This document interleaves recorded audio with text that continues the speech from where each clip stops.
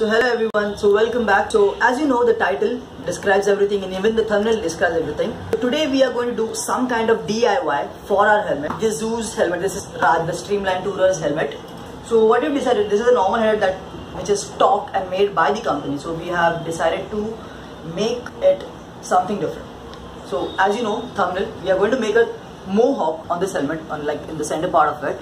You know, give it a bit kind of color texture and everything and uh, I'll try to give my best you know to show you how it is made. You know just enjoy time lapse I will try my best to show you the best time lapse you know the entire making of the mohawk over this helmet. To make the mohawk what you need is the basic thing is the shoe sole. This is a very simple fabric sole that you can get it on anywhere. So we're going to use this as the mohawk part which we, we're going to make it and you know cut it and design it. And the rest we need is uh, double tape which you can you know use to stick the mohawk over this helmet here. So you know you can stick it there and with the help of the double tape you can just put it there.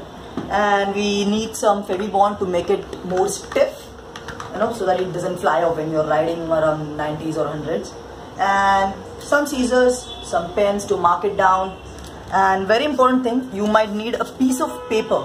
It's, it's a very simple thing but you need, you need a piece of paper. If you see I've already cutted this piece here to get the shape, the curve shape of the helmet.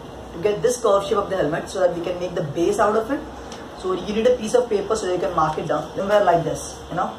It's almost close, not exactly perfect, but yes, somewhere close. And you need these sandpapers so that once you make or you design your mohawk according to your own pattern which you love, there are multiple designs that you can make it make out of it. So you after you make it, you can just polish it to give it a finished touch and finally you cannot keep the mohawk with this color. So you need some color or I've choose a matte black color an Abro color that you get as spray paint. So I'm gonna use this black paint to color my mohawk and if you want you can use any color that you want that goes with your helmet. So yes please enjoy the time lapse of the making of the mohawk. Thank you